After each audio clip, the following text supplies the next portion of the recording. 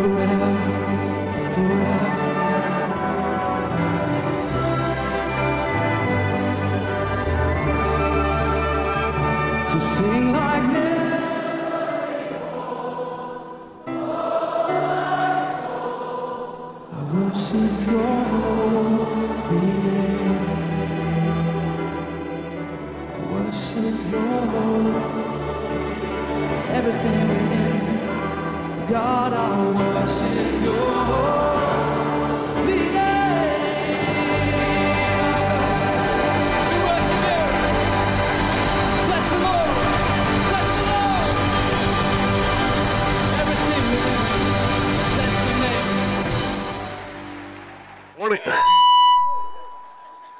good morning, everyone. Uh, what a glorious day.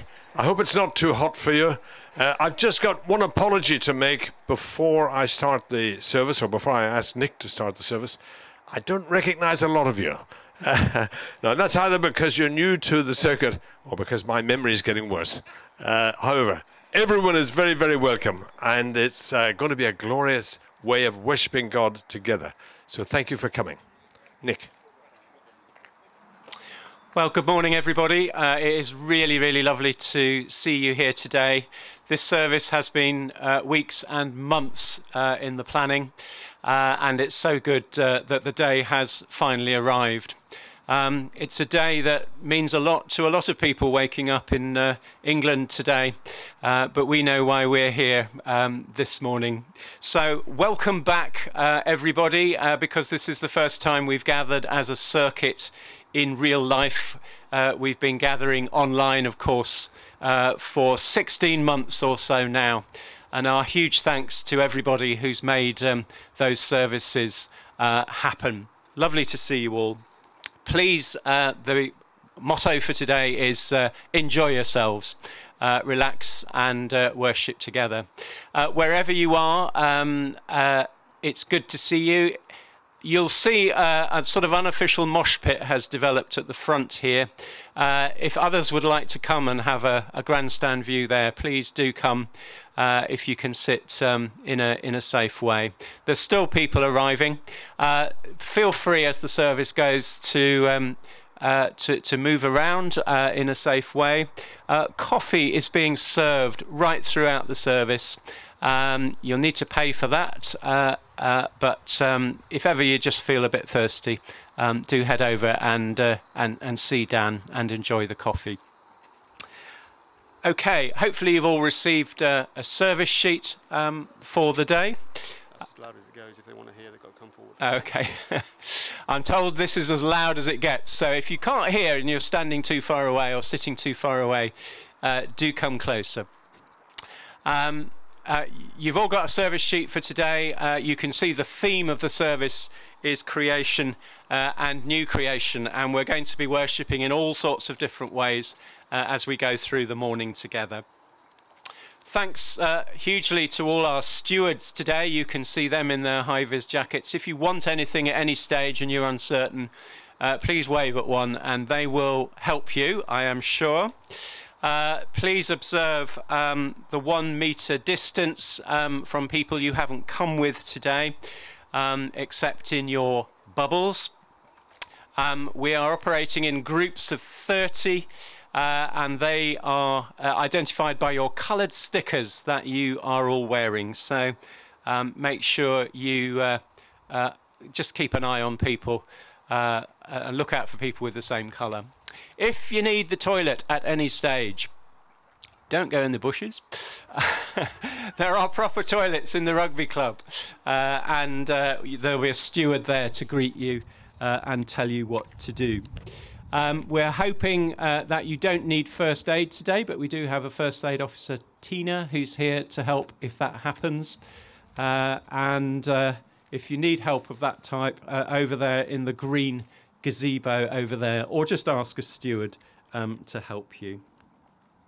Um, after the service, uh, we are serving uh, delicious hog roast, which is cooking even as we speak. That's available on a takeaway basis with an in out scheme over here.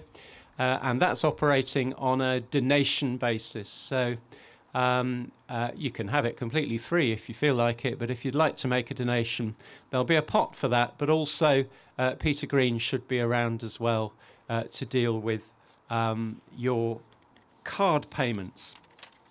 Okay, uh, just before we get going, some thank yous. Uh, huge thanks to Tim uh, and Marlow FM and Marlow TV. Uh, to the AV team today who, make, uh, who are helping this to happen, for all the many who are taking part on and off stage, uh, to the wonderful planning team, you know who they are, have been working with me for weeks now, um, and for the circuit for um, uh, paying for today's event. Marlow Rugby Club for welcoming us here and uh, uh, making us uh, welcome in this lovely, um, open and safe space here. And finally, all of you, thanks to all of you for everything you've been doing during lockdown, the amazing things been happening in your churches and in your communities through this time. Please, um, we're allowed to sing today, so please do sing and dance and worship in any way you like today. Um, our theme today, as I said, is creation, new creation, and to celebrate that, we're going to have our first song, Over All the Earth, You Reign on High.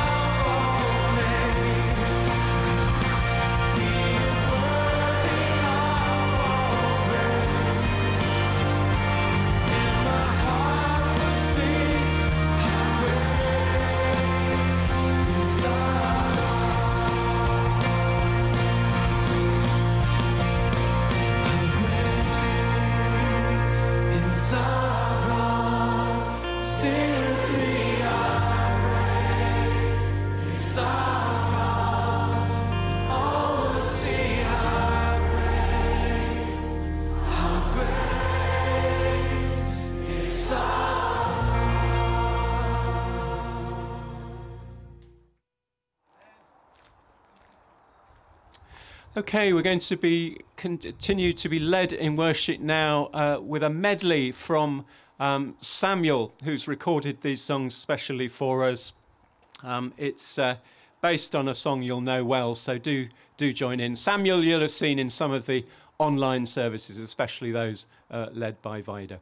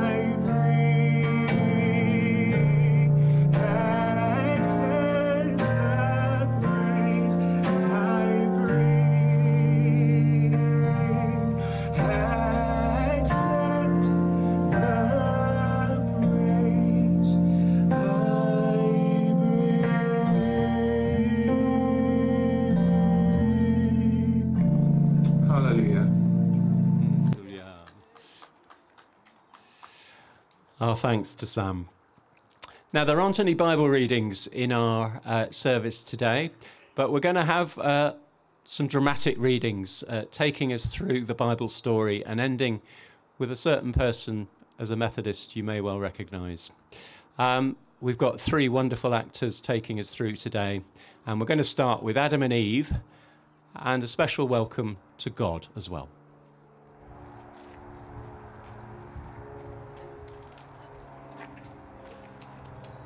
Hello? Hello? Where are you? Hello? Yeah, yes, we're, we're, we're here, God. We're here. Adam? Eve, are you hiding from me? Well, we heard your voice in the garden, But we were afraid because we're naked. so we hid ourselves. Who told you you were naked? Have you eaten from the tree I commanded you not to eat from? Um, um, uh, it was Eve. She, she was the one. She gave me the fruit. Uh, uh, all I did was eat it. So it's uh, not my fault. Not your fault. You ate the fruit of the tree I specifically told you not to eat in chapter 2 before I even created Eve. Um, yes, yes. The one which I told you if you ate, you would surely die, Uh, yes. but you're sure it's all her fault. Well, uh, maybe it, it was mostly her fault. Uh, yeah, yeah, it was mostly her fault. And what about you, Eve? What have you got to say for yourself? Well, you see, God, it was like this. There was this great big snake.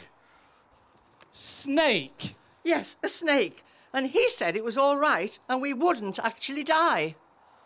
So, having been commanded by God not to eat the fruit of the tree of knowledge of good and evil, all it takes is for a big snake to come along and tell you it's absolutely fine, you won't die after all. And you believe him, not me. Well, he was a very nice, oily snake. Quite a charmer, really. Oh, Eve, Adam, I gave you a choice, a big decision to make. Look around you. All this beauty is creation, made especially for you. This is my gift for you to explore and unravel its mysteries. I have done all of this for you. Sorry, Lord. No, I'm sorry. Sorry you did not see its sacredness, respect its fragility, or understand its complexity. And sorry you exploit it and pollute it. You destroy wildlife habitat, burn rainforests, fill the oceans with plastic, and engage in mass farming you don't really worship me. You worship the God of greed and money. So now you must leave and go on a journey. Leave this beautiful garden? But it was just a piece of fruit. It was a piece of temptation. But is this journey going to be hard? Hard, painful, and long for you and your descendants. You will invent murder, war, persecution, hatred, and abuse. But for the sake of just one sinless descendant, a son of yours and mine, I will not abandon you. Well, what, what will this son do? He will resist temptation. He will lead you like a shepherd to a new and pristine creation. He will crush the head of the, of the deceitful snake forever, but the snake will also strike him. Will the snake kill him? He will die to protect his sheep and continue to lead you. Now take off these robes, and I will make proper clothes for you.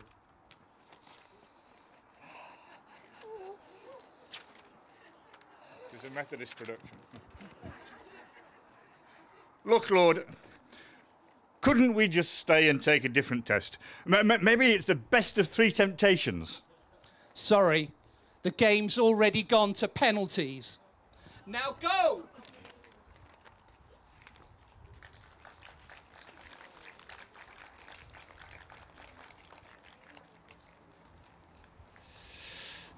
So, the theme of temptation and creation. Beryl is going to lead us in some prayers of praise for creation.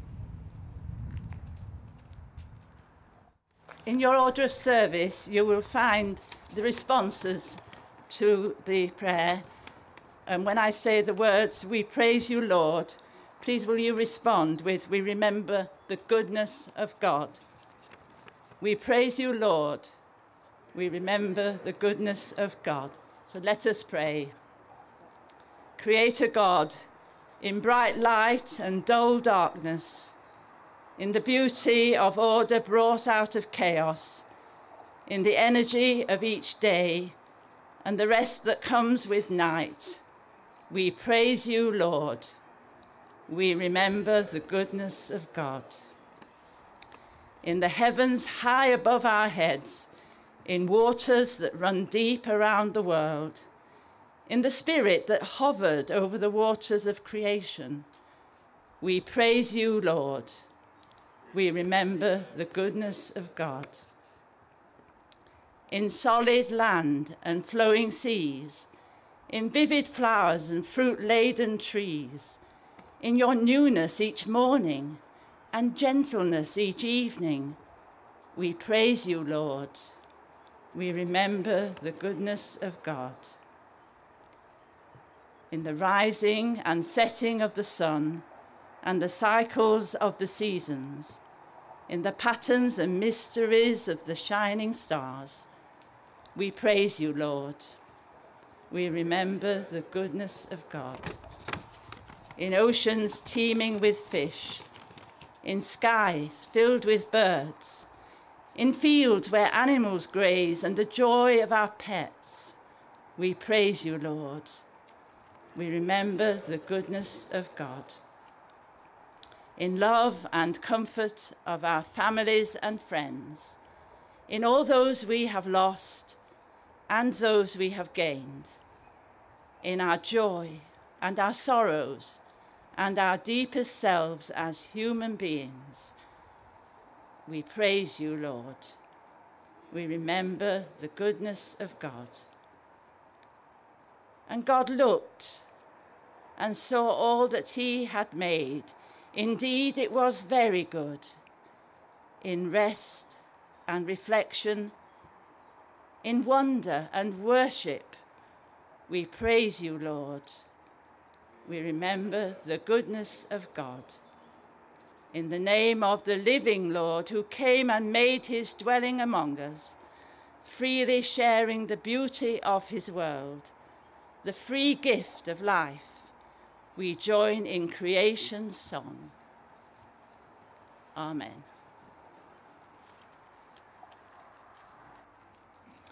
Thank you so much, Beryl. We've got uh, a few glimpses of different uh, experiences of life over the last 16 months uh, in the service today. And I'm going to invite Grace to come forward first and uh, just reflect uh, for a short time on what it's been like to be a student in lockdown.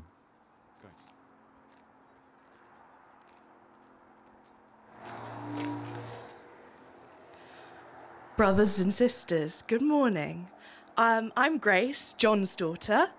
Uh, I was asked to give testimony this morning on my experience over the last 12 months as a student while we've been living under COVID restrictions. It goes without saying that I've never before experienced any health crisis on the scale of last year.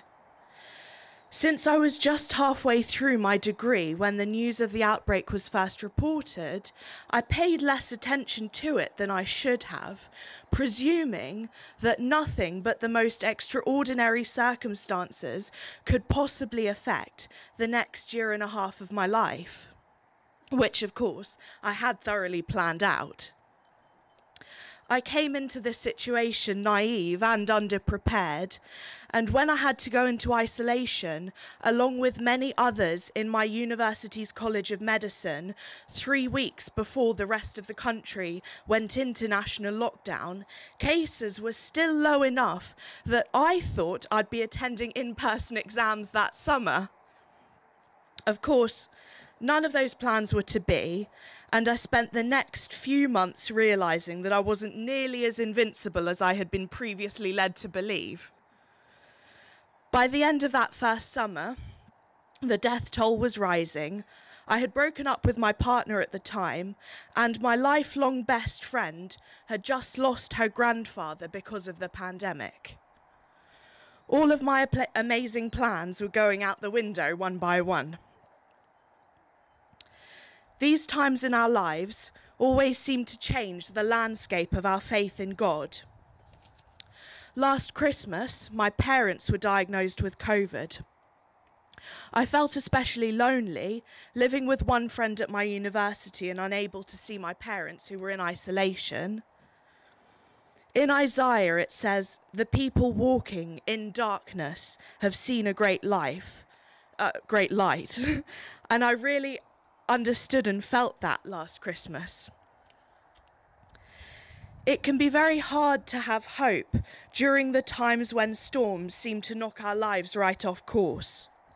I'm sure many of you have also had mixed feelings over the last couple of months as we talk about lifting restrictions and as we look around ourselves, not recognizing our own lives. Changes in freedom seem to be starting to take place all around us, including the most recent decision in the Methodist Church to allow same sex marriage. All these things are signs that the world is changing in big ways at the moment.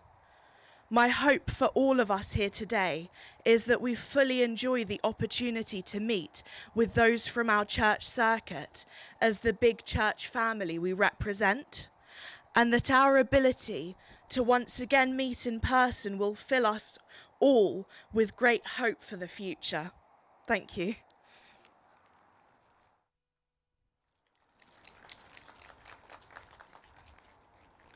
Thank you, Grace. That was wonderful. Well, our drama team are back now. God is back. Um, and it looks as though the weather's changing.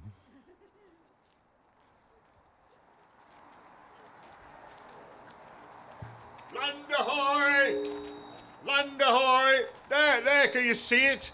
There's the top of a mountain poking out of the water. Are you sure, no? What happened to that dove you sent out? The one that brought back the nice green olive branch? Well, I sent it out again this morning and, and, and nothing. Never came back. Oh, well, at least this beastly rain has stopped, and finally we can let all those animals go. Especially the awful snakes. Do you know, I, I quite like having all the animals. Now, you really are winding me up, Noah. Those animals, the cacophony of noise wasn't enough. The smell, oh, it was absolutely awful. Three weeks at sea is terrible, absolutely appalling. Actually, I'm not sure we smell too good after all these weeks at sea either. Well, maybe we would smell a bit better if the crocodiles and alligators hadn't taken up our bathtub. Why did we have to bring them all anyway? I told you, it's God's will. Now, listen, you know, just saying that everything is God's will is not actually the answer. Oh, gosh, look at that pretty rainbow over there. What's God trying to tell us now, I wonder? I'm not sure. Perhaps it's a sign. Yes, of course it's a sign. How much bigger can a sign get? Hello, God. The journey's going well. Mr. and Mrs. Noah, don't you like my sign? Oh, it's absolutely beautiful. But what's it a sign of? This is my rainbow of hope. A rainbow of hope. Yes, hope for the future. Hope for well all well-being. And the NHS, of course. So, what should we hope for? Look, things haven't gone too well since your ancestors, Adam and Eve, left the Garden of Eden. And now the whole of creation has got mixed up in it.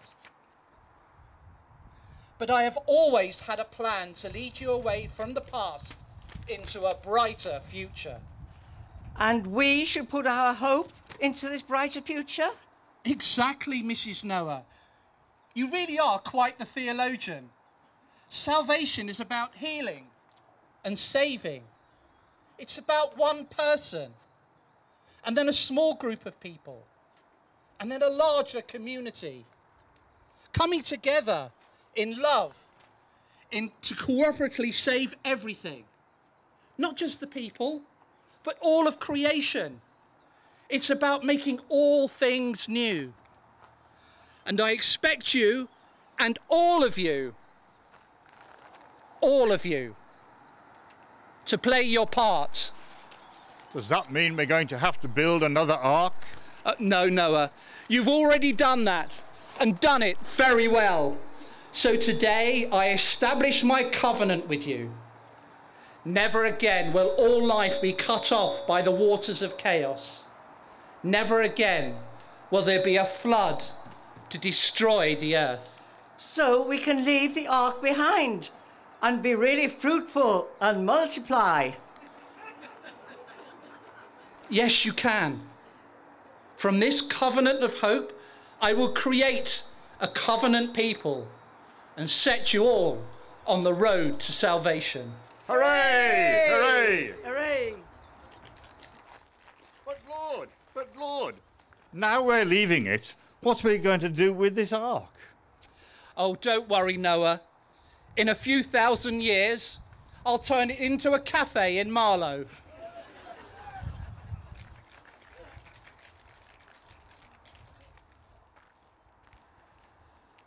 Uh, very good. We're going to have uh, a couple of reflections now. The first one is recorded by Clive, who's away on holiday enjoying creation somewhere else, but he's recorded this specially for us um, uh, with uh, Downley, the experience of Downley Church, just a little picture for us. And then Georgina's going to be sharing with us. Georgina, you want, if you want to come round, I think by the time, because um, Clive's piece is only really very, very short.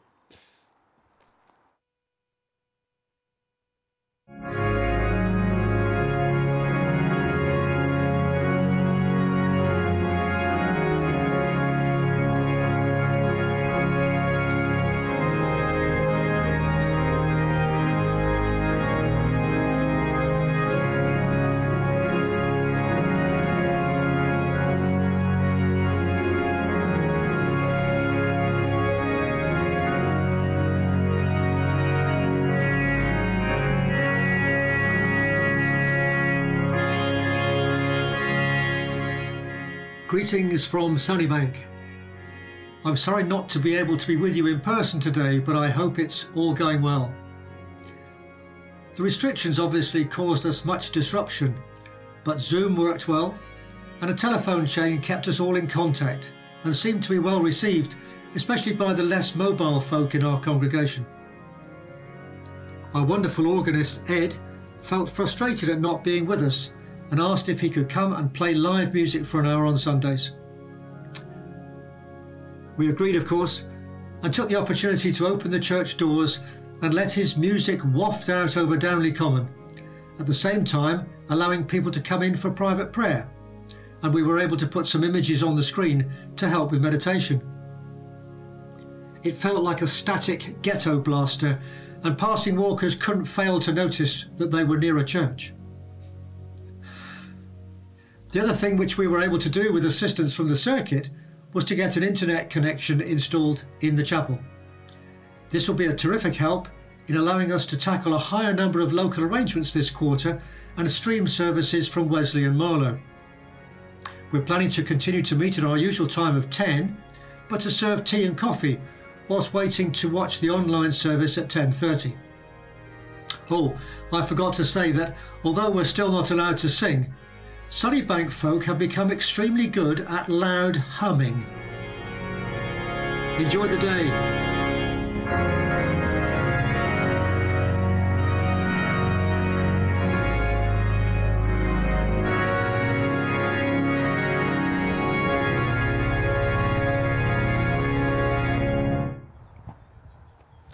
This is my story, this is my song, praising my Savior all the day long. This is my story, this is my song, praising my Savior all the day long. I know Clive is not here, but Clive, thank you for that. Ministry in the pandemic. Now, the word ministry is very often associated with roles related to the church, but that is too narrow. Ministry also refers to what God calls every one of us to do, living and working in various ways and in different situations for God. As Christians, whatever we think, say, and do forms part of our ministry in and to God. In the next five or so minutes, I'll be sharing a little of an experience I had during the pandemic, which has transformed my ministry greatly. I must say this before I start. The testimony is of my experience when I was called to an ICU ward to stand in the gap for a family I am close to, as they said their farewells to their husband and father. I am mindful of the fact that some of us have been recently bereaved. I pray that we are encouraged, strengthened, and enriched in our ministries through the little I share. Our close friend Paul was taken into hospital with COVID, and we had been praying fervently day and night. On the 2nd of March 2020, a week after his admission, I got a call from the family asking if I would accompany the oldest son to the hospital for the life support machines to be switched off. The rest of the family would join via video call. The whole family, except the oldest, had come down with the virus I think what decided me was Josephine, the wife, saying, We have no one else.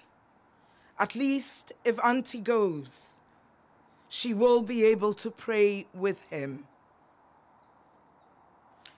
I felt no anxiety at that point, and I was not afraid.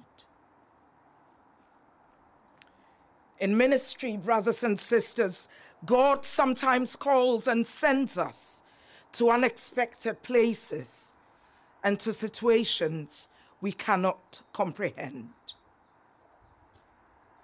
Ours is just to go.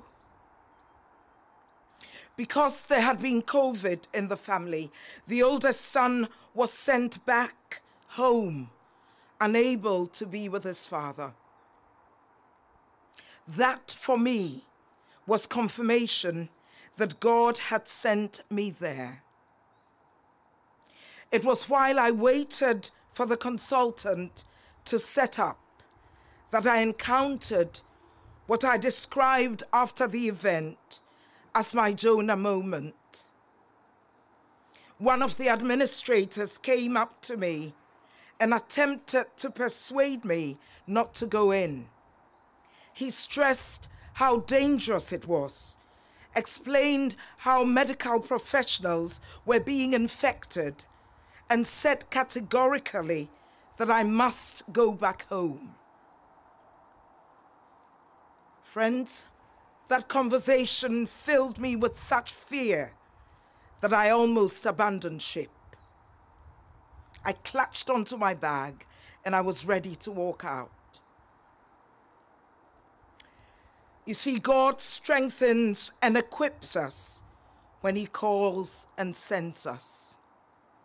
At that point, I knew that I could only put my trust in God and God alone. In Paul's room in the ICU,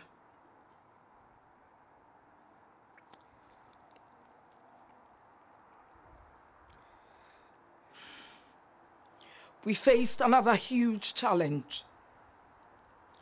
The video call wouldn't work.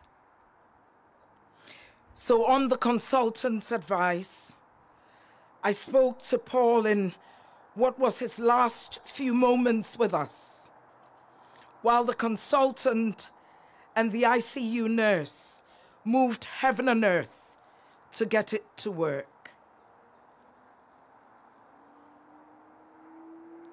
It took four tries for the connection to go through. And the consultant's perseverance in getting it to work convinced me that God had placed him there for such a time as that. As we engage in ministry, God places people in situations and works through them to support and bless us. Brothers and sisters, ministry can be challenging. I was challenged through my experience that day. But ministry is undoubtedly transforming. The whole experience transformed my thinking and understanding of the way God seeks to use us in His service, and has transformed and deepened my understanding of the truth of Jesus' victory over death. May we continue to encounter the transforming power of Christ as we do ministry trusting in God daily. Amen.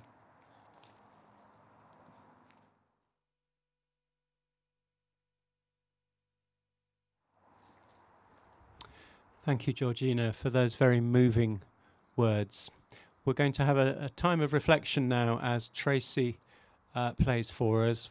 Delighted to welcome Tracy to play the keyboard for a piece Starry Dome, which also has a resonance for our next drama, which will follow with Abram and Sarai.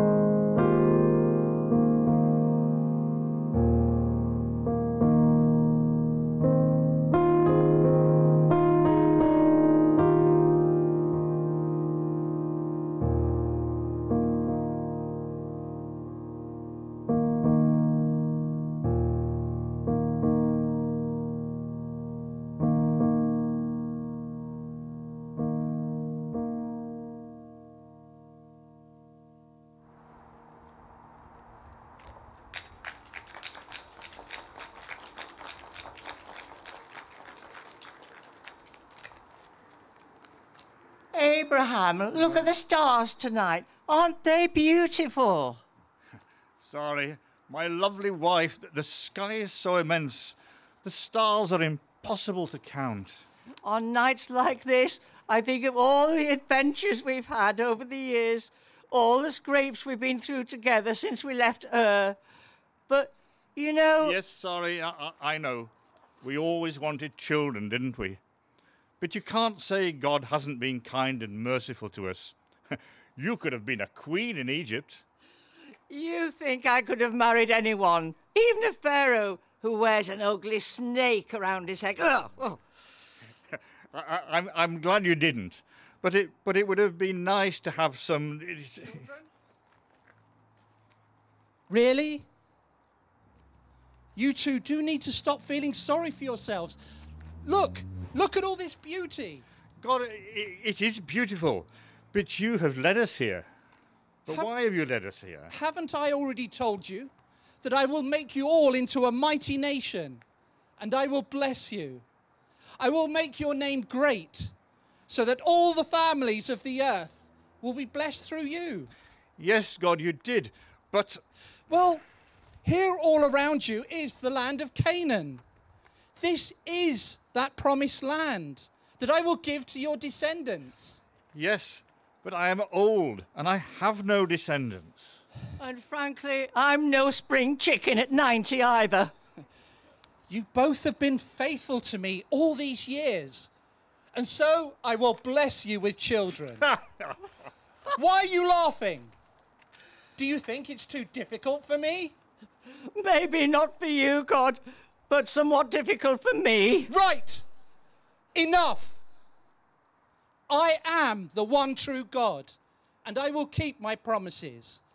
And just as I did with your ancestor Noah, I will establish my covenant with you to be your God, and I will multiply you exceedingly, and I will be their God. So on your knees.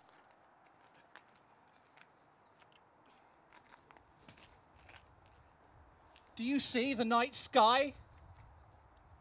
Just as numerous as the stars are, so your offspring shall be. Rise, Abraham. No longer will you be called Abram, but Abraham. For I have made you a father of many nations, and many kings will descend from you. You too, arise, Sarai. You are now Sarah, for I will bless you and surely give you a child, and you will be the mother of nations. Ruler, rulers of people will descend from you. Now, smarten up, you two, and stop feeling sorry for yourselves. In a year, at the appointed time, I will return to you. And by then, you will already have a laughing boy called Isaac. Yes, God. Yes, God. That's better. Right, Abraham. Here you are. Um, now then, get on with that lot. What's this? Nappies, blankets, baby clothes, paintbrush. It's a shopping list, darling. Now, on your bike. We need to totally do up the nursery and we don't have much time. Oh, and by the way, can you bring me back some nice sugary treats? I'm really very hungry all of a sudden.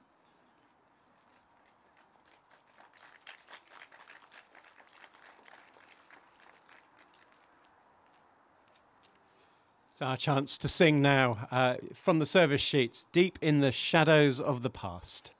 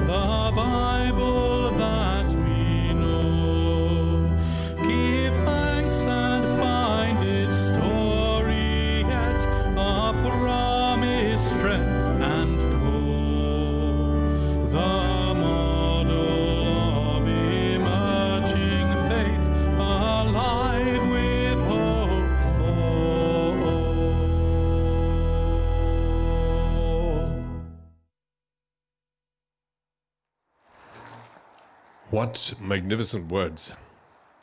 Deep in the shadows of the past. Leaders long ago who copied, sifted, and preserved the Bible that we know. We give thanks to God for that Bible.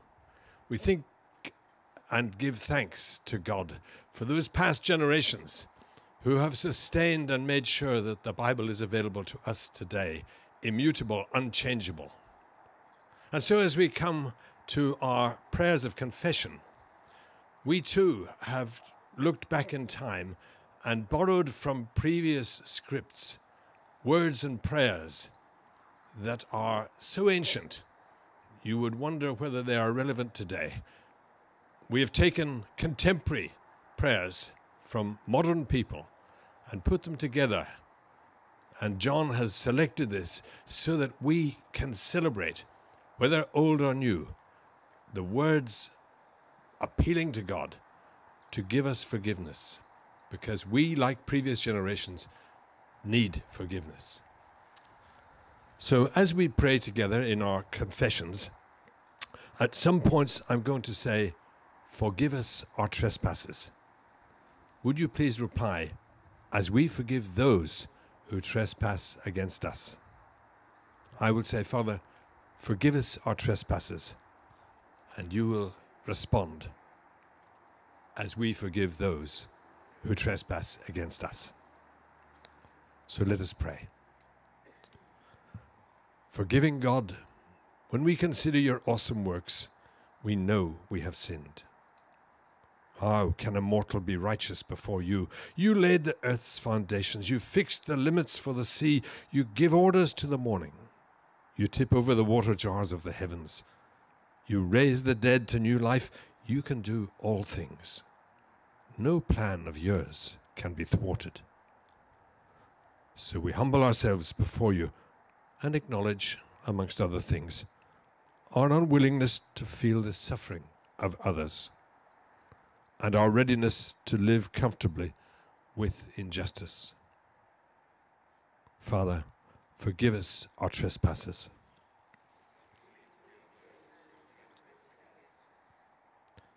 For our self righteousness that denies guilt, for our self interest that strangles compassion. Father, forgive us our trespasses as we forgive. For our abuse of this planet and our exploitation of its resources, Father, forgive us our trespasses. For our failings in community and our reticence to become involved, Father, forgive us our trespasses. For the times we are too eager to be better than others, when we are too rushed to care, when we are when we are too tired to bother or when we are too preoccupied to listen, when we are too quick to act out of motives other than love. Father, forgive us our trespasses.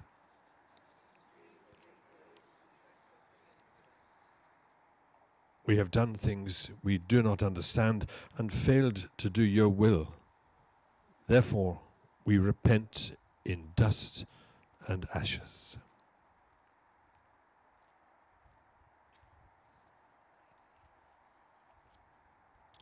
May God forgive us.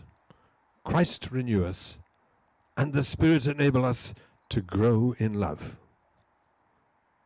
Fear not, said the Lord, for I have redeemed you. I have summoned you by name. You are mine. Amen.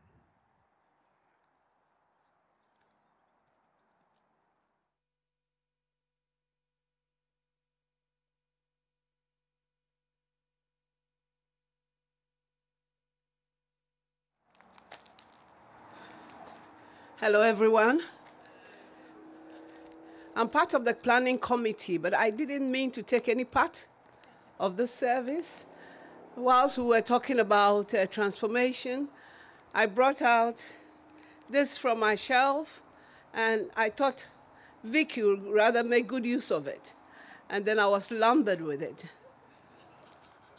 But here am I, before all you lovely people who could otherwise have been in your beds with cups of tea or coffee, but haven't been recreated by God, transformed already, you decided to give Him all the praise and worship, and here you are, worshiping together. What a family. Let us pray. Loving God, bless now the words of my mouth and the meditation of our hearts. Breathe your spirit into us and grant that we may hear your word and in hearing be led in the way you want us to be and want us to go. Amen. Thinking about the word transformation, I thought what a good example to use butterflies. I tried to wear a Ghanaian attire, which will be big and overflowing, but of course I won't be able to walk in it, so I downed it and tried this instead. Something colorful to go with the, the butterfly uh, scheme that I'll be talking about. Butterflies, as we all know, have brightly colored wings, so lovely to look at. As they grow, they undergo transformation, a process known as metamorphosis. We get the word metamorphosis or metamorphosis from the Greek word metamorpho, a change from the inside out, like when a butterfly, a caterpillar, becomes a butterfly. We all know the story, but just a recap for the young ones here. First, the female butterfly lays eggs, and inside the tiny eggs, caterpillars like this. And I'm, I'm asking Neil to help me because I'm very short. Thank you. Caterpillars um, like these grow. When the caterpillar is fully grown, it becomes a pupa or chrysalis, a kind of case in which the caterpillar ready to it's ready, gets ready to change into a butterfly. Finally, the case around the pupa splits open, and out comes the butterfly.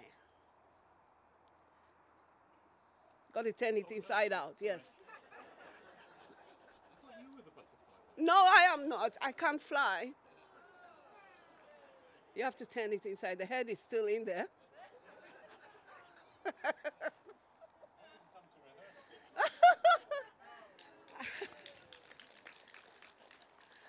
By the way, it cannot fly straight away as the wings are at first wet and wrinkled against its body. It waits until they are dry and then it flies away.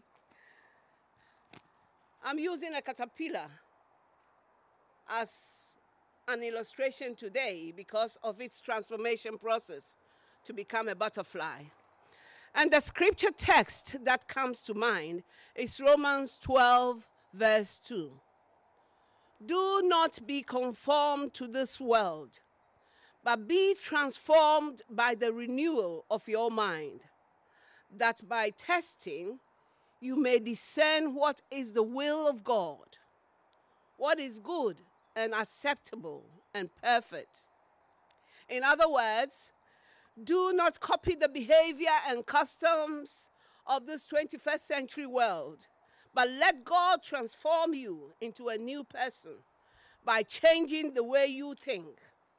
Then you will learn to know God's will for you, which is good and pleasing and perfect. We Christians know that it is the Word of God that transforms us through the power of the Holy Spirit.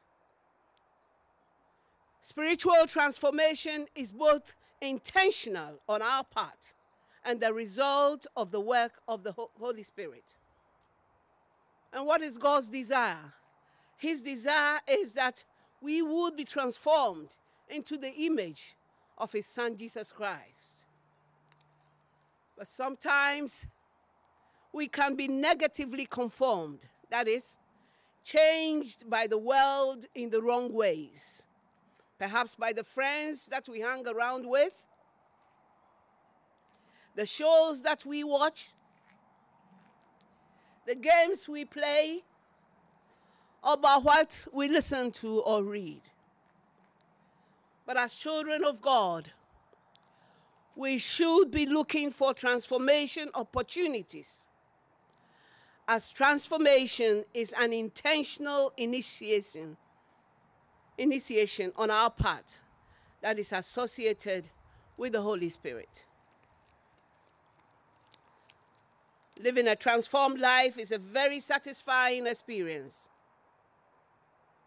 As we follow Christ through humility, a study of His Word, He then transforms our minds, our desires, our wills, our relationships, and our ultimate reason for living, and then help bring others to Christ.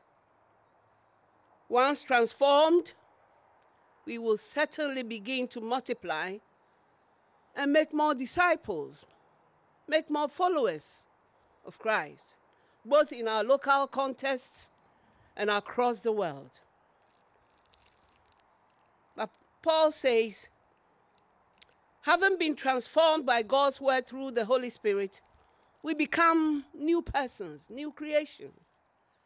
As Paul said in 2 Corinthians 5, verse 17, the old life is gone and a new life has begun. Therefore, if anyone is in Christ, he is a new creation. All things have passed away. Behold, all things have become new. So, brothers and sisters in Christ, as we are gathered here this morning, our Lord Jesus Christ invites us to experience a new and transformed life with Him through the Holy Spirit. As we seek God, may He transform our lives and so impact our communities through us. In His name we pray. Amen as I started coming, a song that was burning in my heart is something that you all know, and we'll all sing together the first verse. Blessed assurance, Jesus is mine. Blessed assurance, Jesus is mine. Oh, what a foretaste of glory divine, heir of salvation, purchase of God, born of his spirit, washed in his blood. Yes, this is my story, this is my song. Praise my Savior, O Lord. This is my song. this is my song.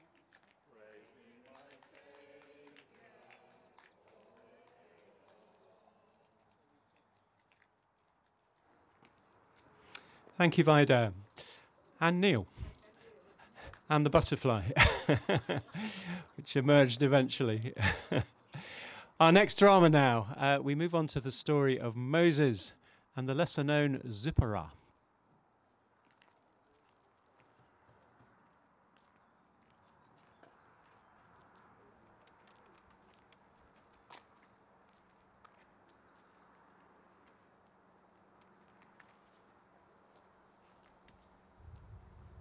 Zipporah! Zipporah! Oh, hi, Moses. How was work today? Never mind, Zipporah.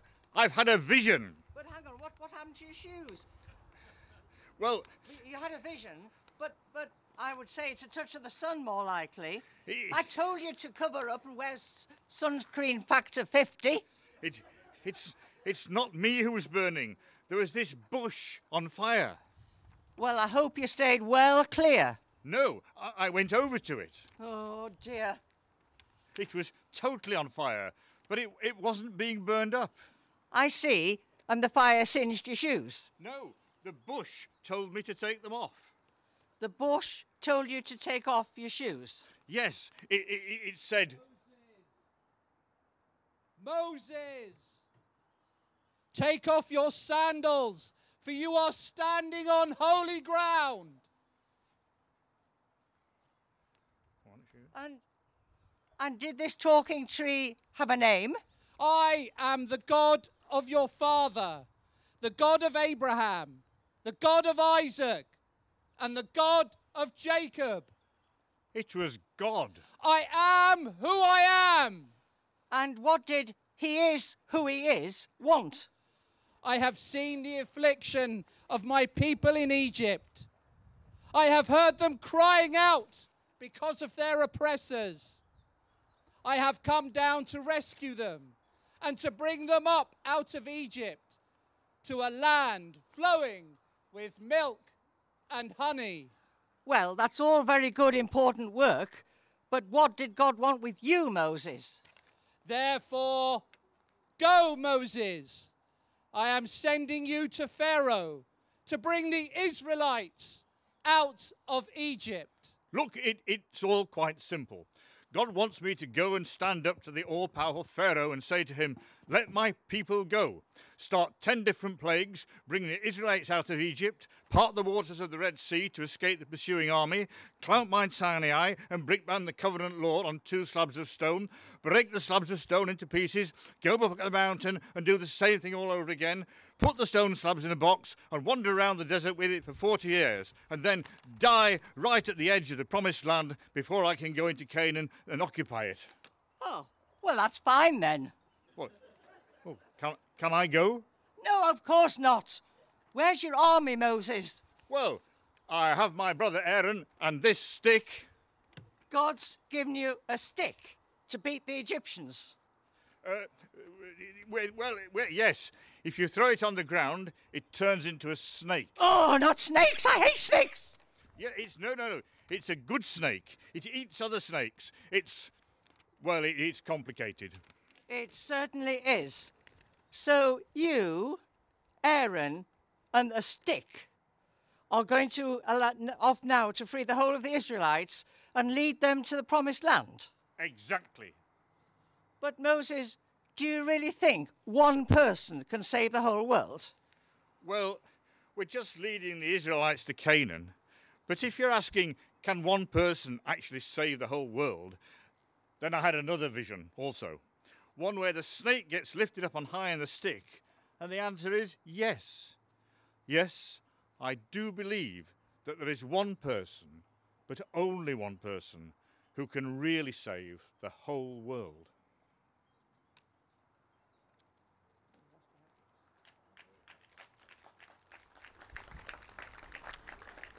Right, you lot, you've done enough sitting and listening. You've now got to do some work. And I'm really sorry that not everybody managed to get a piece of paper. Um, you could use your order of service, but don't tell anybody I said that. I have here a very big piece of paper so that you can see what I am doing. I'm going to ask Graham to come and help me because because he's my husband, we can get within a meter of each other. And we're going to attempt to transform our big piece of paper into a butterfly. Now, before I do any folding, in origami, you need to know that a mountain fold is when the fold is pointing up and the paper is pointing down.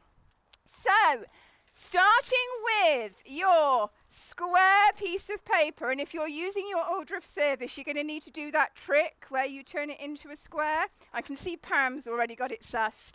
And the first thing you're going to do is take your square and make a mountain fold diagonally to turn it into a triangle. Voila! I can see some triangles.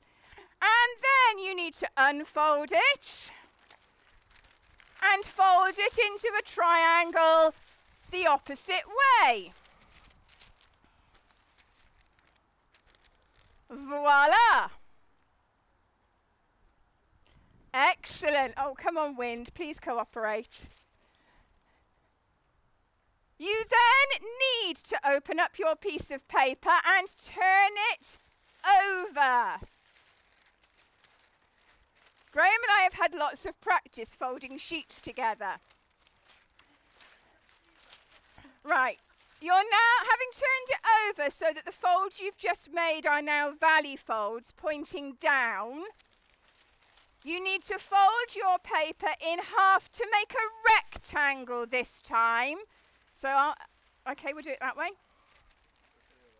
Now we're doing it.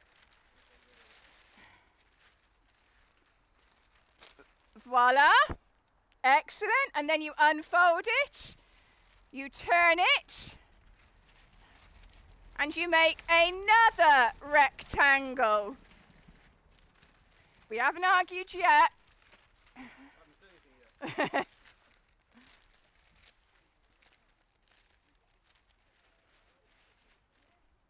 Excellent. Now, the next bit is going to be the most complicated bit, but watch what we do first, and then you'll get it set. You need to open up your paper. Stop, stop, stop, stop. And you need it so that your diagonal folds are mountains and your horizontal folds are valleys. And you're going to find the middle of your square. This is what we did at home. And you are going to fold, please calm down, wind. Your diagonals out. And at the same time, push the sides in. I'm going to use my foot. Okay, so I've done my side. Yeah. Oh, you're doing a brilliant job, you lot. It needs to be a triangle, not a diamond. So it's the sides that you need to push in. Well done, Pam. Yeah, well done. I can see some fantastic ones. right, you take that side.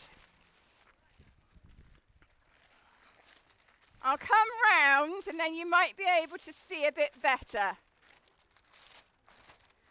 So there's my diagonal. That side. Voila. There's my diagonal. That side. And using my foot, I'm pushing the side in and it looks like the roof of a house. Okay? Right, now we're going to make, we're transforming this piece of paper into a butterfly. We're now going to make the wings. So, point up flat bit to the bottom. Apologies for the people that are still.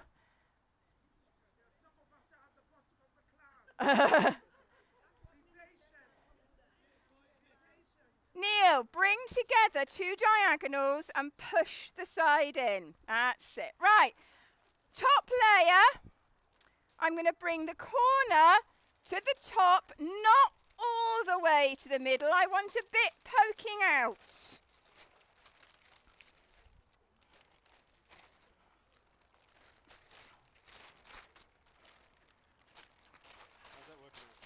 I'm getting there. I'm winning. Right, can you do the same your side? and then you do the same the other side. Bring the top layer up. So it's poking out a little way. Is that making sense? If you go all the way to the middle, you won't have the top of your butterfly wings. That looks good, Sue. I'm liking the look of that. Brilliant. Now, you need to turn it over. and then, this pointy bit at the bottom, you need to bring up. Hang on a minute, because I'm losing. You might have to put it on the floor for this bit. Hang on, you need to. Oh! Right, can you do that the other side, please, love? No, just the top layer. Apologies, newspaper's not very sturdy. Right, flip it over. Oh. Right, we're going to lift that up like that so that it comes over the, pops over the top a bit. It's going to curl, it's meant to curl. Right, ready to pick it up? Right. We have lifted the bottom corner, bottom point, so that it comes above the top. And these are meant to curl because now you can see they look like wings. And to secure it all in place, you fold it down. You fold it in half. And there is your butterfly. It needs to come higher up. You've got the right idea, James, but the triangle, if you can see, the triangle needs to poke over the top of the, bu the butterfly so that you can fold it down to make the head secure everything.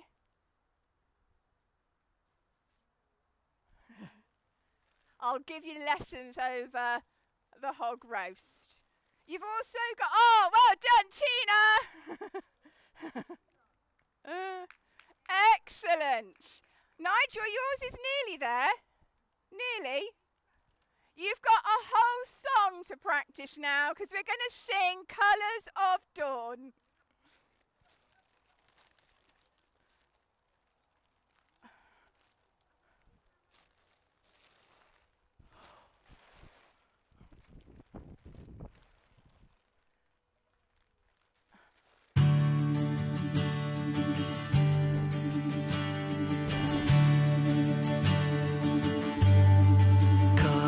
Of day dawn into the mind. The sun has come up, the night is behind. Go down in the city, into the street, and let's give the message to the people we meet. So light up the fire and let the flame burn. Open the door, let Jesus return. Take seeds of his spirit,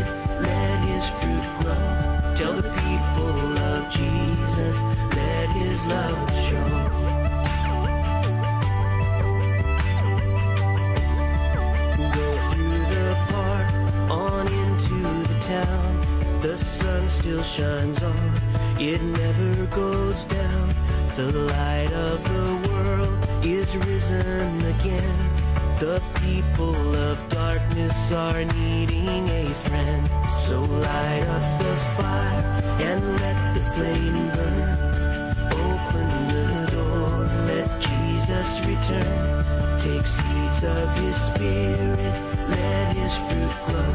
Tell the people of Jesus, let his love show.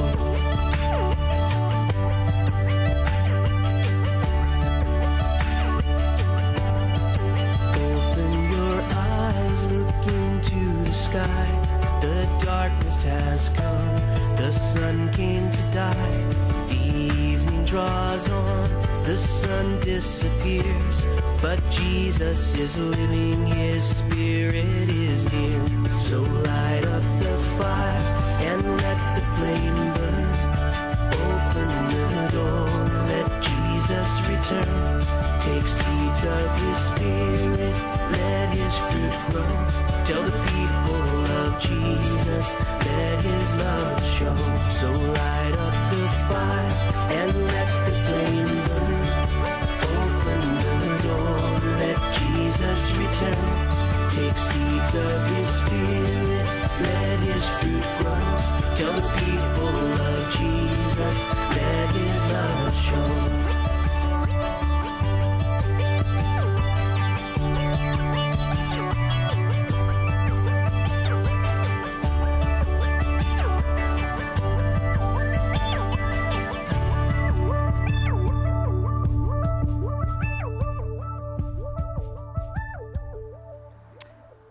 Okay, so the other thing that I handed to you as you arrived this morning was a packet of seeds. And if I missed anybody, there are still some left. Find me at the end.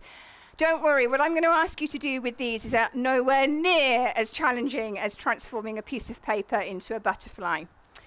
Seeds are funny little things. When you look at them, they look wizened and dry and not much promise in them. But you plant them and they stay underground for a while you're not quite sure what's going on. And then, miraculously, out comes sign of new life and the world is a better place for the beautiful things that come out of seeds.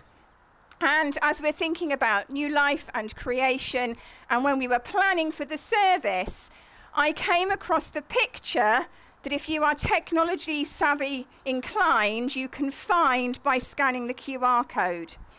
And it's a picture of how some kindergarten children took some seeds and sowed them in a very unlikely landscape and the outcome of that. And our challenge to you is to take these seeds and plant them somewhere. And actually, just this morning, whilst I was waiting for you all to arrive, I spotted a family where the little girl had her very own little litter picker and was picking up bits of rubbish very proudly and encouraged by her parents. And I was so touched by it, I asked her mum and dad if I could give her a packet of seeds, which they were very grateful to receive, and said, as you're managing to change, transform the area by picking up the litter, maybe you could transform it even more by planting some of these seeds, which they seemed to like the idea of. And that family, they were um, Hannah and Simon were the parents. Daisy was the little girl. How apt that she should have a, a flower name. And she had her little brothers Wilbur and Freddie with her. So go and transform somewhere with your seeds. And who knows what seeds we have been planting as we have talked about our faith and shared our faith with friends, with family, with work colleagues over the years, the months, the weeks. And who knows what harvest they will bring.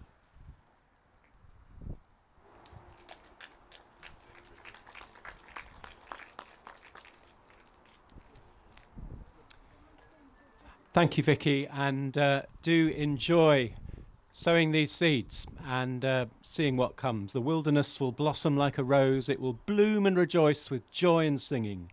They will see the glory of the Lord, the splendour of our God. That's the last piece of the Old Testament from this service. We move into the new now with our wonderful drama team John the Baptist and a man and a woman.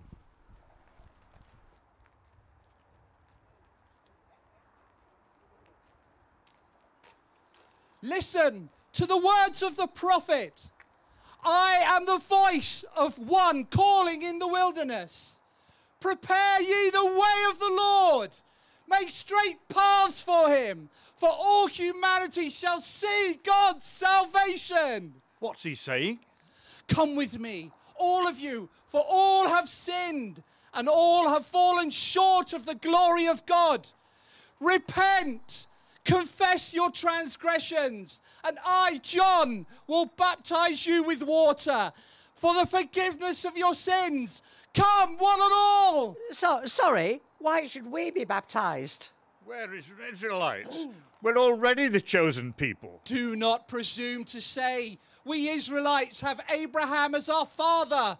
For the axe lies ready, and every tree that does not produce good fruit shall be cut down and thrown into the fire. You cannot escape the coming of wrath, you brood of vipers. Vipers, snakes, I hate them! You must produce fruit in keeping with repentance. How do we produce this fruit? Whoever has two tunics should share with the person who has none. And whoever has food must do the same. But if you can forgive sins, then you must be our long promised Messiah, the Christ. I am not the Christ. Well, you must be Elijah. I am not. So, are you a prophet? No. Then why do you baptize? I baptize with water. But one more powerful than I will come, the straps of whose sandals I am not worthy to untie. He will baptize you with the Holy Spirit and with fire.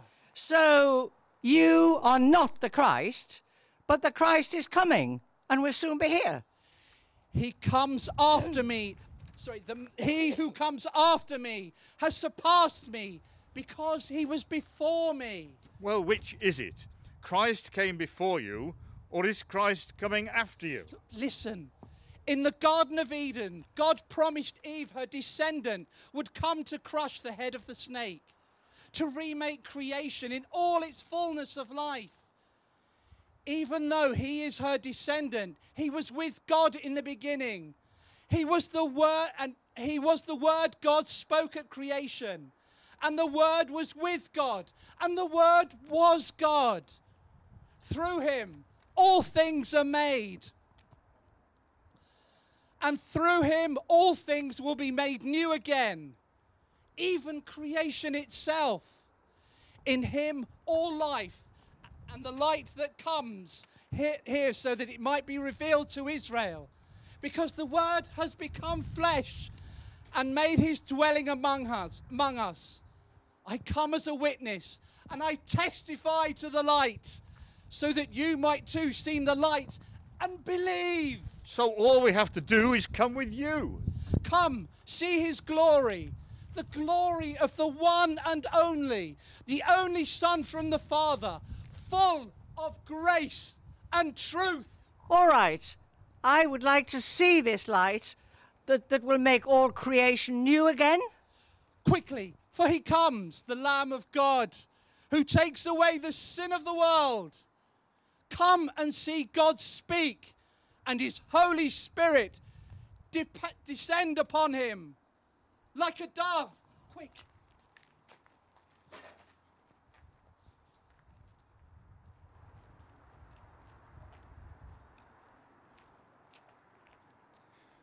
And they were gone.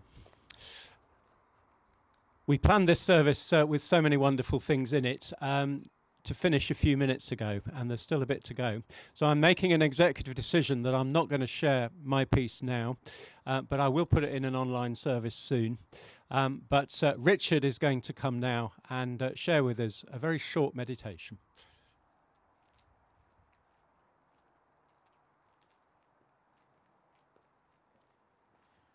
I want you to imagine that in your hands you have a box of free range eggs. a box of free range eggs.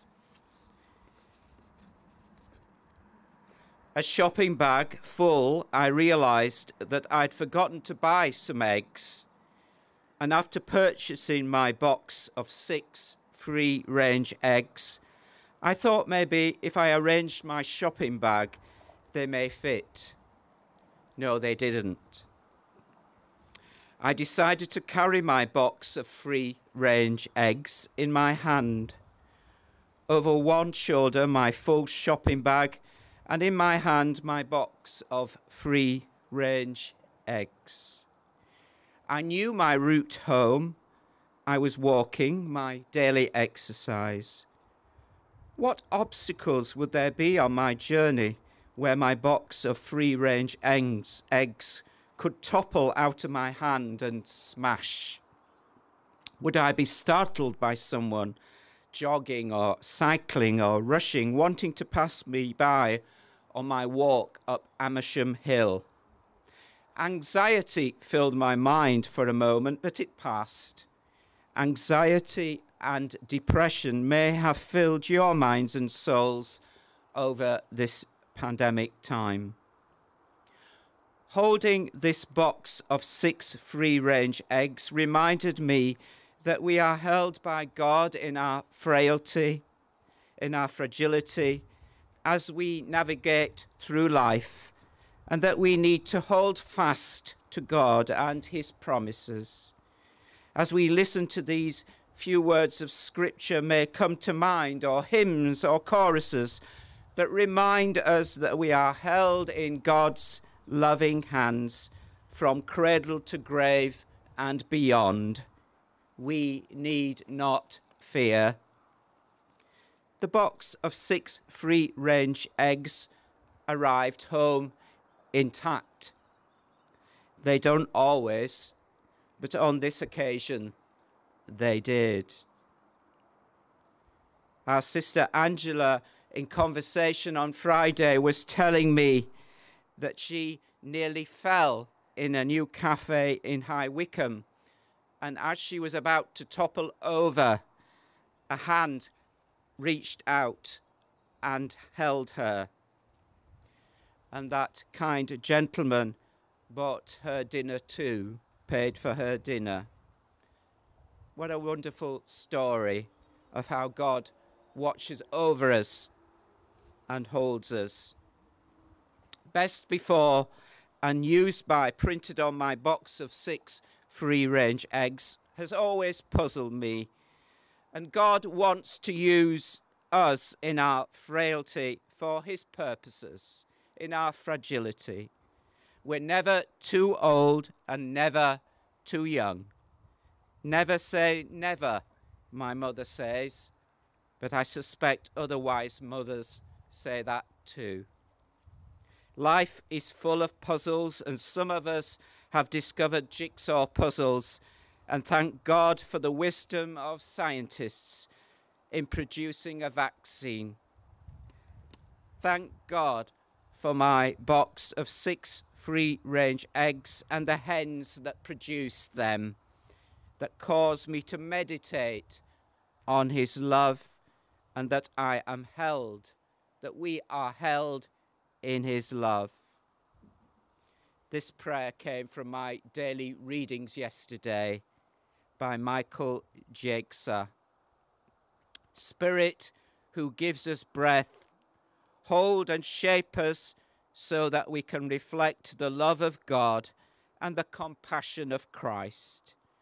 Open our minds and hearts to imagine new possibilities that draw us away from apathy or selfishness and comfortable corners to walk your way of full life for all.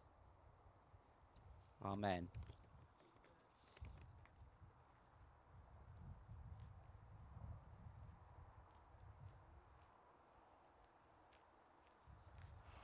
Thank you, Richard. As we move towards uh, the end of our service now, or the final part, uh, we're going to sing I Am a New Creation.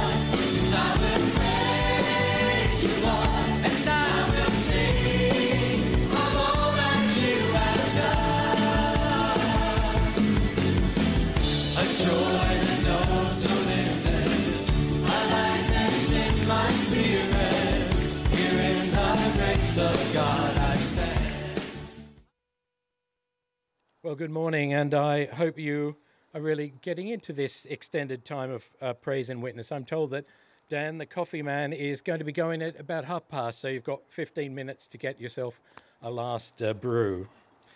Now, for around 18 months, uh, we've been locked down in the midst of the storm of this COVID 19 pandemic.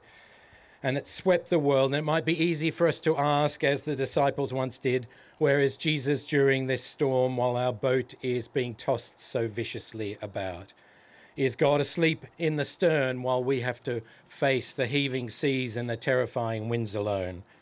But of course, as you've heard this morning from all sorts of eloquent testimonies, right through this health crisis, Jesus has been active, very active in A&E departments and intensive care, riding in ambulances and with the emergency services, in businesses struggling economically, with all those on furlough or who have lost their jobs altogether, in people's houses, especially as they isolate, in care homes where the crisis has been at its worst, and not just in Britain, not just in the developed countries, but throughout the world, wherever there are sick who need healing, wherever there are people who are vulnerable, wherever there are poor who do not know where their next meal is coming from, or homeless without a roof over their heads, or refugees fleeing their homeland, or people grieving, people in fear, people anxious in pain or suffering, or all alone. Jesus has always been with us in this pandemic, and step by step, Jesus is carrying us through. And we are so grateful to God for the dedicated staff of the NHS, for volunteers, for the gift of safe and effective vaccines developed in an incredibly short period of time, and for all the other very special ways in which Christ, through the Holy Spirit, has just kept on carrying us that our speakers have borne witness to this morning. But I want to talk about another existential threat in which Jesus is also the central figure of salvation, and where he again bears the burden of leading us safely through together. And this is an even greater cosmic crisis of epic proportions that has been brewing since the dawn of time, because our theme today is one of creation and new creation. In the first book of the Bible, Genesis, we're told the story of the first creation, a story of failure that will not be entirely resolved until the very last book, Revelation.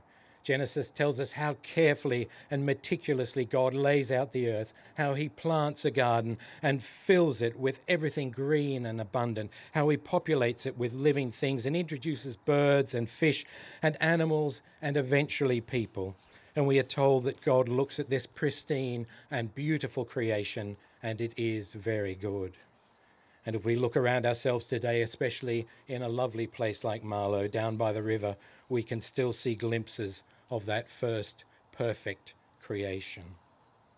But let's not fool ourselves by just looking locally, as so many people do. We have damaged this creation in all sorts of terrible ways.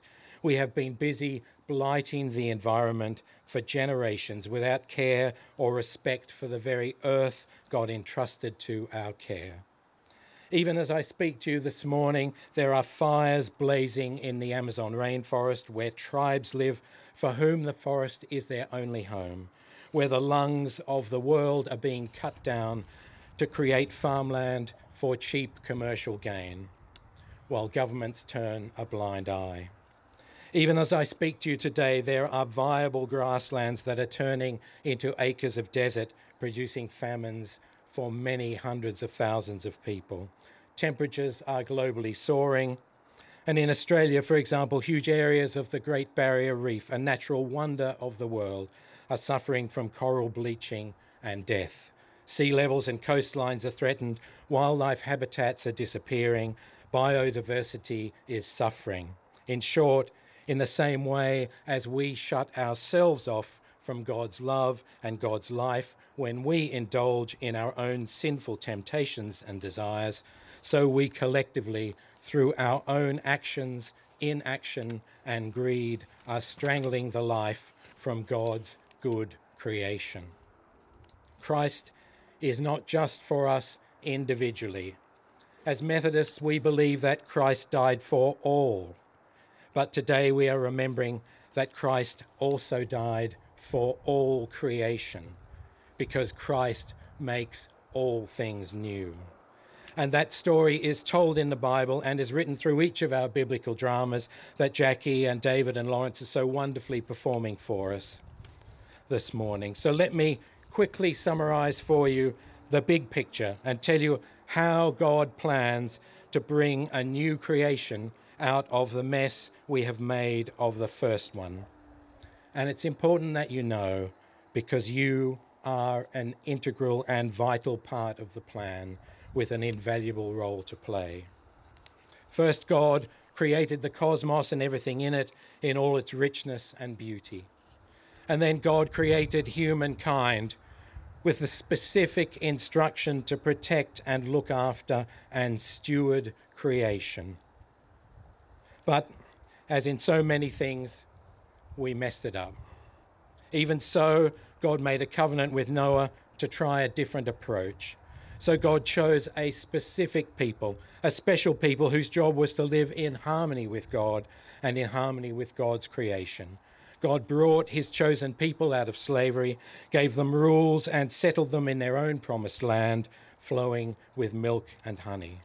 They had every advantage, just as today we have every advantage. But they failed to observe the law that God gave them, and once more things got messed up. God sent the prophets, but to no avail. So God decided to send his son, his only son, the Word who was with God in the beginning, the Word who was God himself.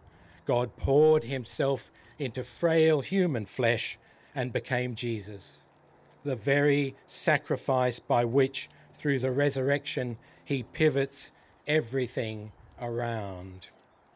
From creation, we have humanity. From humanity, we have a chosen people. From the chosen people, we have the prophetic witness and the Lord their God, who for our sakes becomes Jesus. So that the new creation can begin in this way. Jesus calls the disciples the apostolic witness to replace the old prophetic witness. Through the apostles at Pentecost, he calls the church a new chosen people whose promised land is the new Jerusalem in the new creation. And these new chosen people called Christians, us, each one of us are sent out throughout the world to be salt and light to all nations and to baptize them in the name of the Father and the Son and the Holy Spirit. And so, from this new chosen people made up of all nationalities, all races, all skin colors, all social classes, all genders, from God's universal church, the gospel message, the new creation message, is to be spread to all people, and all people are to become stewards of the new creation. That is how we save this precious planet. And we, you and I, unworthy as we are, are the ones appointed to do it. It is our job, our mission, if you will, to take God's healing message of grace, the message of salvation as it has been taught to us in Jesus, and empowered by the Holy Spirit to keep making a nuisance of ourselves until we influence all nations and all peoples not just to live in peace together, but to live in peace with God and creation. It is our job to ensure that out of this chaos will rise the new creation, a new creation of which we already carry the seeds inside ourselves. Just like the seeds which Vicky spoke about, planted into cracks in the pavement, so at this very moment, Christ stands patiently knocking on our stone cold hearts, breaking them apart bit by bit until in the tiny cracks he can plant the seeds of the tree of life that will take root in whatever fertile ground it finds. And it is through grace, it is through piety, it is through service, it is through prayer that our hearts will be transformed into that fertile ground, into a warm, living, moving, and loving heart that beats in time to the rhythm of the whole of God's good creation. And that is how Christ will build the new creation from the inside out, one contrite and humble heart at a time. Amen.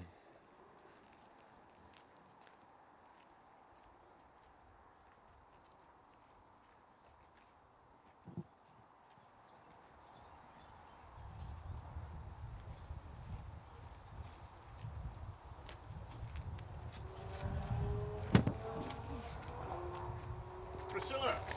Priscilla! Look, Priscilla, another letter from Paul. Oh, my goodness.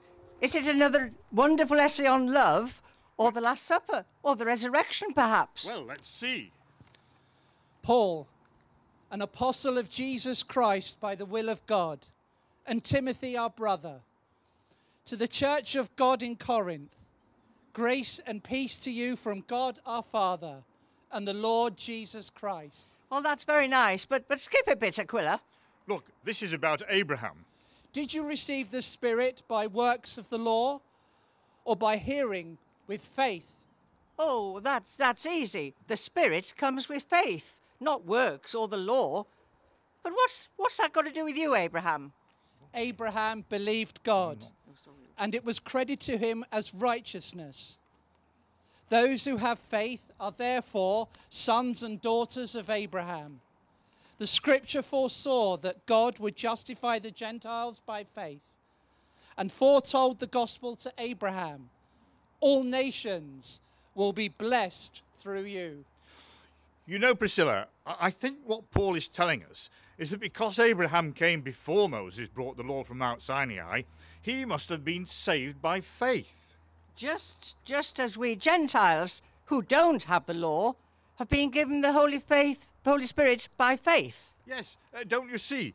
Paul is saying that when God promised Abraham and Sarah that they would be father and mother of many nations, they meant nations of faith also. You are all children of God through faith in Jesus Christ. For all of you were baptized into Christ, have clothed yourself with Christ. There is neither Jew nor Gentile, slave nor free, male nor female. For you are all one in Jesus Christ. And if you belong to Christ, then you are Abraham's seed and heirs according to the promise. So all the promises given to Abraham, And Moses, and even Adam and Eve, the promise of salvation, and the Easter hope of resurrection, apply equally to all. Everyone is included in God's plan to save and give new life, not just to specific individuals. but to the whole of creation as well. Therefore, if anyone is in Christ, they are a new creation. The old has passed away. Behold, the new has come. All this from God, who reconciled us to himself through Christ and gave us the ministry of reconciliation. The ministry of reconciliation. You know what that means? What? Paul is saying that we are not just living in the Spirit, we are already living in the new creation. Because of our faith, we have the Spirit in us. And because we have the Spirit, we have the new creation in us. We are the new creation, Priscilla, in which God is reconciling the whole world to himself in Christ. Yes, but there's even more than that. Even more? Yes, look, God is reconciling the world to himself, but he has committed to us the message of reconciliation. Don't you see? We are God's messengers through whom the world is to be reconciled. Therefore, we are ambassadors for Christ, as though God were making his appeal through us. It all makes sense now. Our role is to become ambassadors for Christ, ambassadors to the world of God's righteousness. You might say ambassadors of the new creation. Amen.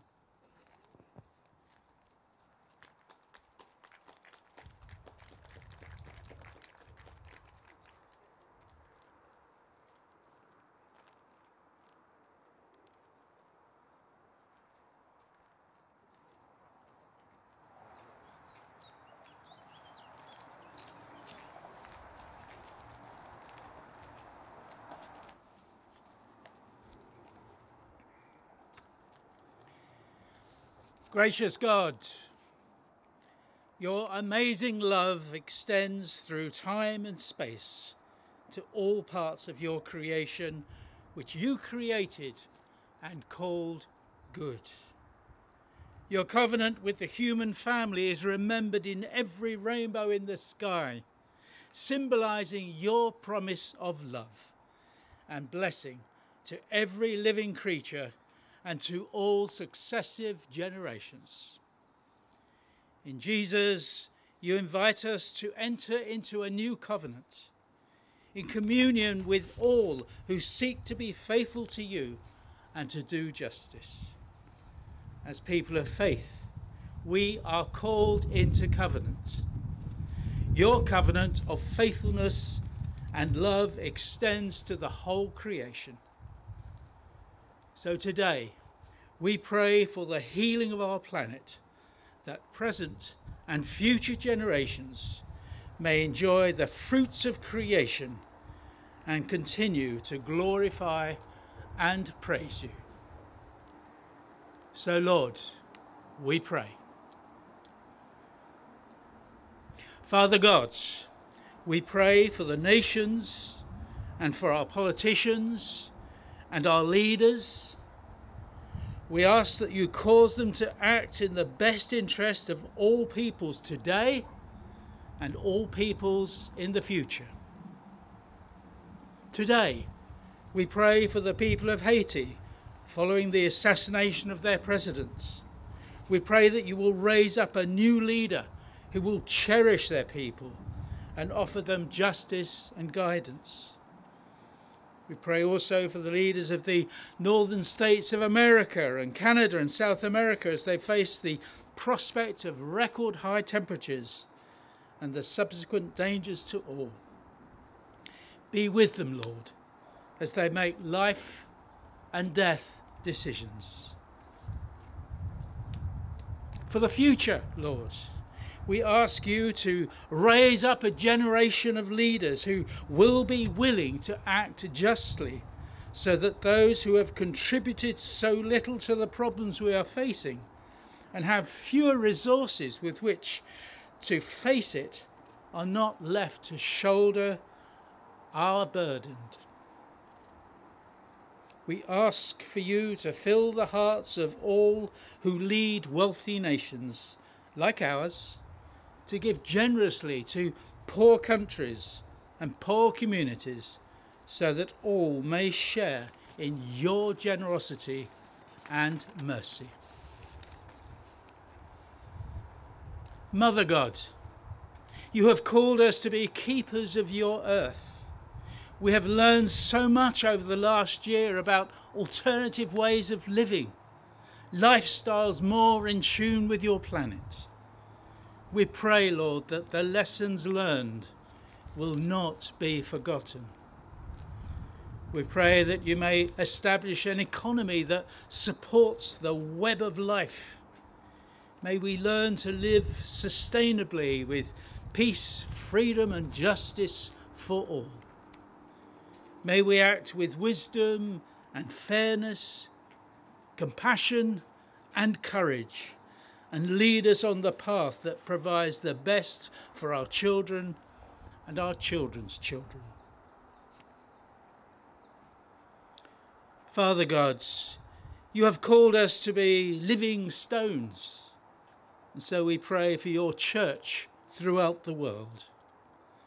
For all those who suffer persecution for their faith, their skin colour, and their sexuality. We pray for the Methodist Church in Britain and across the High Wycombe Circuit.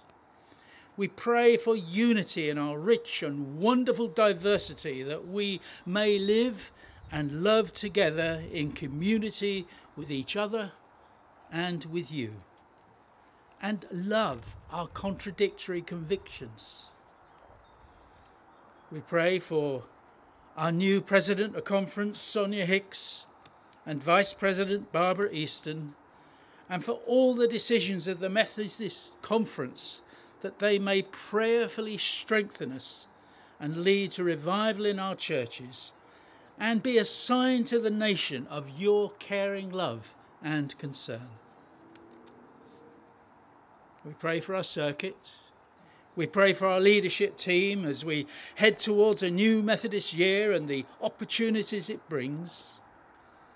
We pray for the churches in our circuit, for the churches of Marlow and the class of Stokenchurch, for Flackwell Heath and for Downley as they explore exciting visions of the future, for Cryers Hill and Tyler's Green as they mourn the loss of much loved leaders, for Marlow Bottom as it continues to develop an ecumenical partnership with Anglican sisters and brothers and for the Avenue, Holmer Green, and Wesley as they continue to explore God's calling to them. Mother God, we pray for all those who we know are unwell at this time, those awaiting tests, those suffering the effects of isolation, those grieving pray particularly for the family of Peter Stevens, a great servant to this circuit. And also for our brothers and sisters at Tyler's Green as they mourn a much loved friend and leader. We pray also for Jenny Lewis, one of Marlow Bottom's stewards, rushed into hospital last Friday night. We pray for healing and for peace. And in a time of silence, we bring to you those prayers unspoken on our lips this morning, but that you know in our hearts.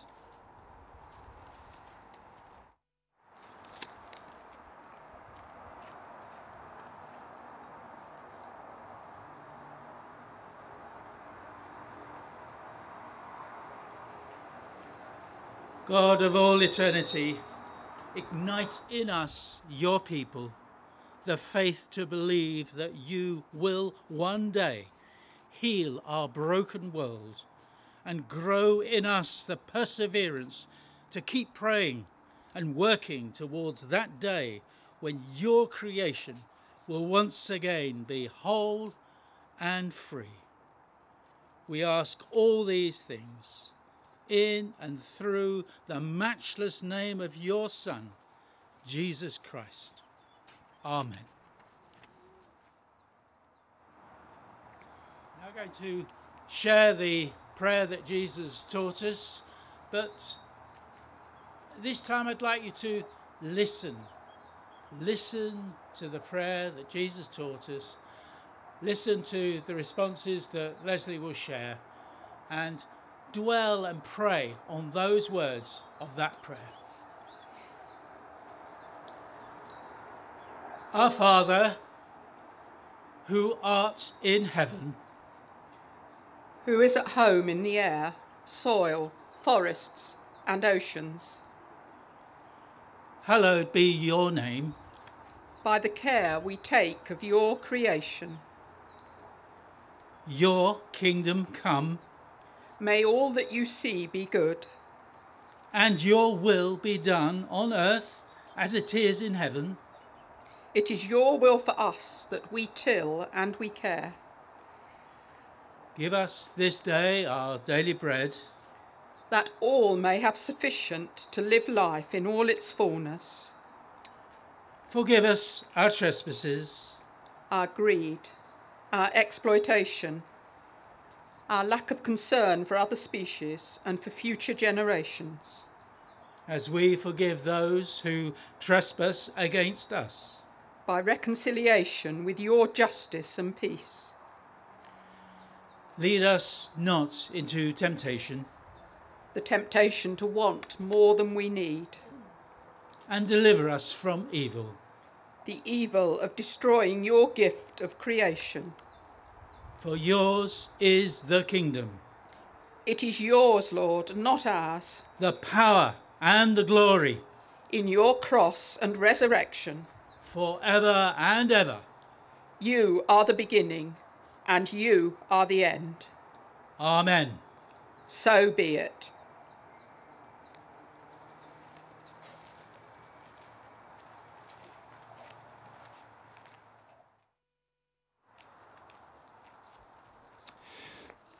Thank you. So we come to our final hymn uh, for our service today. Um, you'll see just two verses on your service sheets for Love Divine. Um, the middle, there are two others, so do join in those if you know the words. Otherwise, we'll just listen, but we'll sing with gusto the first and last verses Love Divine, all loves excelling.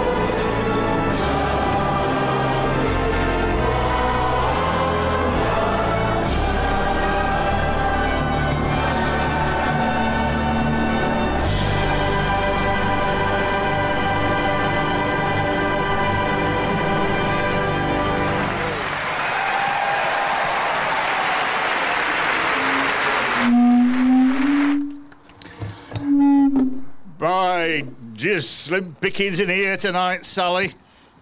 Not much there at all. Oh, oh, here, here, straighten up, Harry. We've got visitors.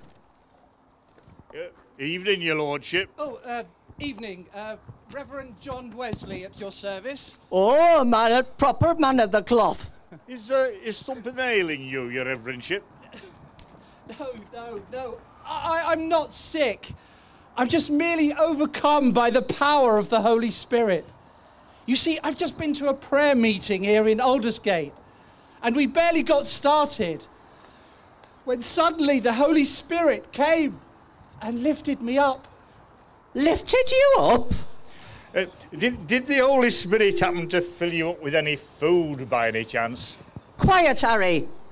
T- Tell us, tell us more about this Holy Spirit filling you up.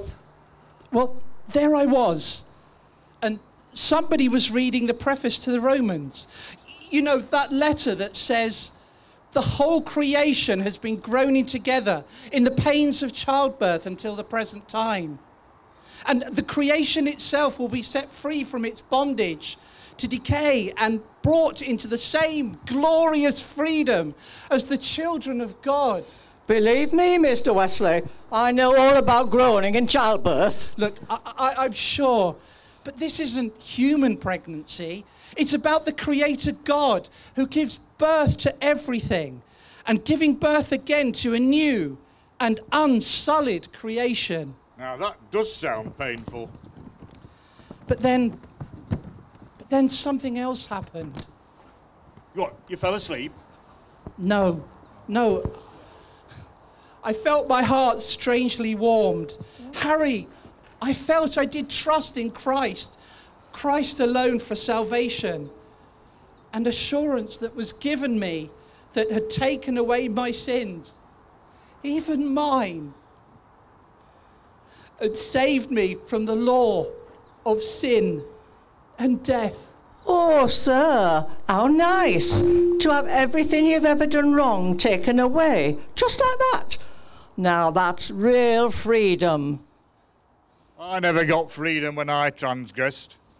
I just got banged up in prison. Well, Harry, don't you want to experience the real freedom instead?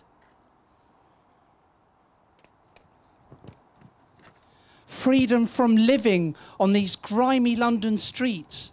Freedom in a new creation where all things, including you, are made again. Oh, I do, sir. I want that freedom. Well, Sally and Harry, this long promised new creation doesn't start here. It starts in here. It starts in the heart and reaches out to transform the whole world. Oh, not the likes of us, sir. Sally, it's there for you and for everyone. Even me as well, sir. Even you as well, Harry. Look, come to dinner. I'm starting a movement for Christians who want to be part of this new creation. Spiritual people who want to transform themselves and help transform the world. Oh, oh thank you, sir. I, I, I'll willing, willingly come for the food. But, but how does someone like me help transform the world? Well, it just so happens. I've been working on a method for my new movement. Oh, if you don't mind me saying, it all sounds very, um, very methodical, Mr. Wesley. Oh, it's given me an idea. Off together. Fine.